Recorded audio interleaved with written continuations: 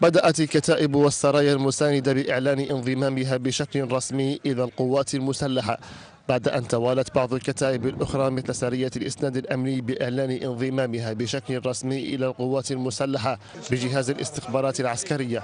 ونبذ كل الفتن التي تداولت في الفترة الأخيرة من أحداث زجت بالمجلس الرئاسي بالتدخل في الأماكن التي تحت سيطرة القوات المسلحة.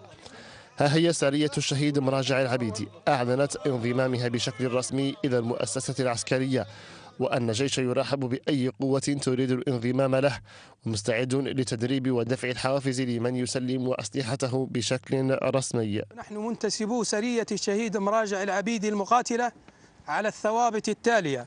أولا نحن مع القيادة العامة للقوات المسلحة العربية الليبية بقيادة المشير أركان حرب خليفة بالقاسم حفتر في العسر في العسر واليسر والمنشط والمكره. ثانيا أن جميع ما نملك من رجال وسلاح ثقيل ومتوسط وخفيف تحت إمرة وتوجيه القيادة العامة. هي رسالة السامية من أبناء بنغازي الذين كانت بعض النفوس أن تتلاعب بهم من مغريات وأموال ومناصب.